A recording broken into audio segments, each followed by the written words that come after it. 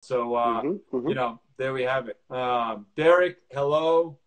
How are you? Um, so I have to give I have to give my buddy Derek a shout out over here. I, there yeah. was no way to share the link on my Instagram page, um, but Derek runs a couple car dealerships in uh, in Phoenix, in the Phoenix area, and um, there was a Fox News article about how they their dealerships, in an effort to to keep the employees working and keep them employed, um, have have been offering free like steamings to to to desant to sanitize people's cars.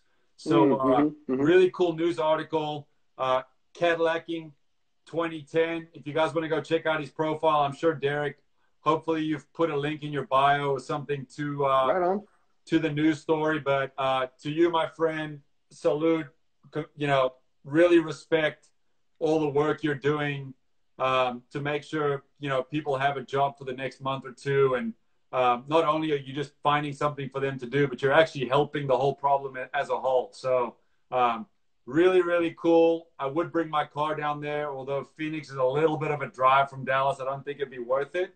Um, but yeah, if you're on here and we've been talking about supporting small businesses and, and family business and, and, and, you know, every little bit helps. Um, go check out Cadillacing 2010. Oh, by the way, if you like Clase Azul tequila, you're probably going to lose it when you get to his page as well. So um, I'm just going to give you a heads up. He has no affiliation with the brand and doesn't work for them because when you see it, you're going to think he owns the brand. Um, so go check him out though. And Derek, if you have a post about it or put a story or something up there, I think it's really inspiring what you guys are doing at your dealerships.